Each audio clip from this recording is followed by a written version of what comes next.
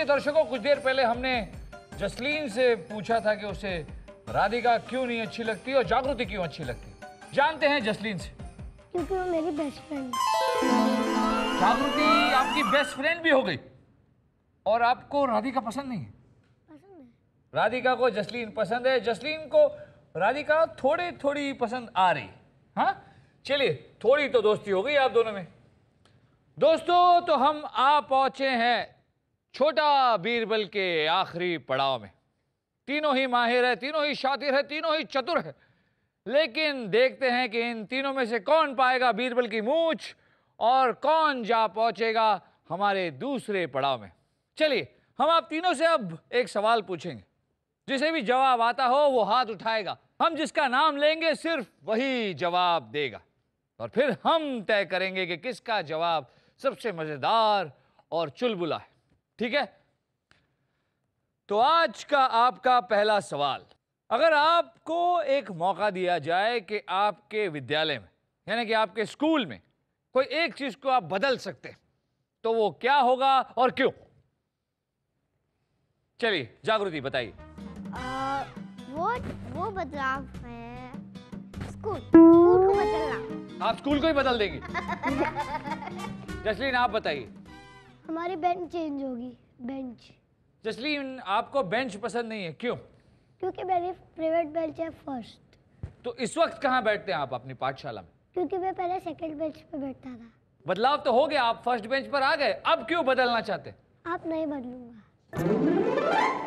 नहीं बदलूँगा। चलिए अब राधिका से पूछते हैं। राधिका आप अपनी पाठशाला में अगर बदलाव ला सकें तो क्या लाना चाहेंगे? बेंच आप क्यों बेंच बदलना चाहेंगे? क्योंकि मेरी बेंच बहुत खराब है वो टूट भी गई है।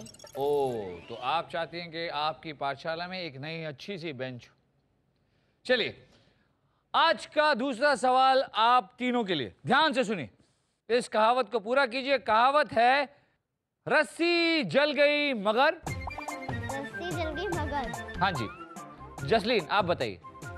सामने लड़का खड़ा था।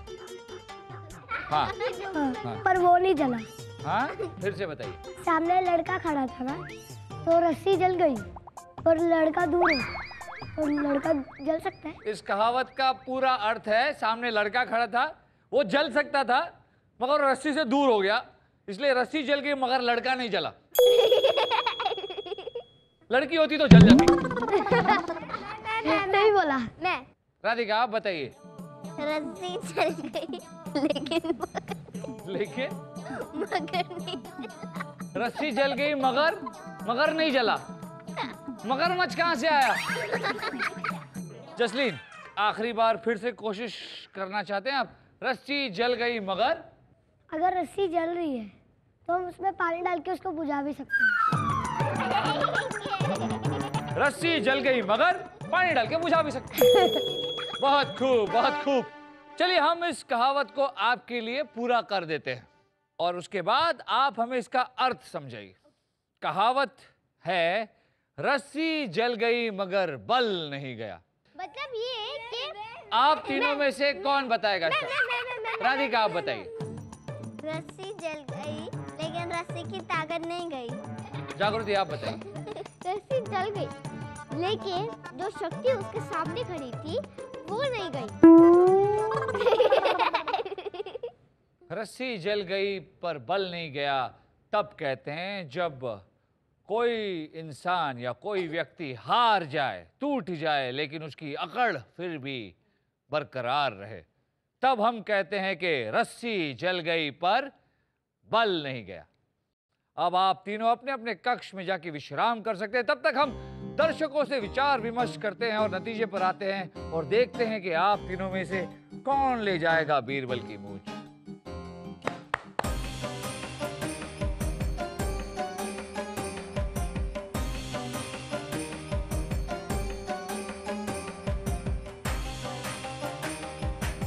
दोस्तों, हमें ऐसा लगता है कि ज़िंदगी में उत्तम होने से ज़्यादा ज़रूरी है प्रयास करना, कोशिश करना। क्योंकि आपने तो सुना ही होगा कि लहरों से डरकर नौका पार नहीं होती और कोशिश करने वालों की हार नहीं। आज का हमारा एक प्रतियोगी ऐसा है, जो बार बार गिरता रहा और बार बार गिर के उठता रहा।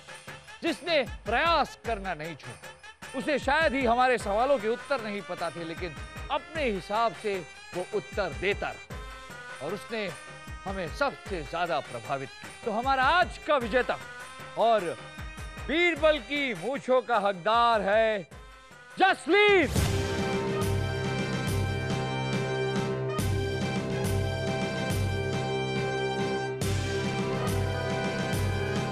मेरी ज़िंदगी में सिर्फ़ दो चीज़ें थी। एक प्यार प्यार प्यार, दूसरा मार मार मार।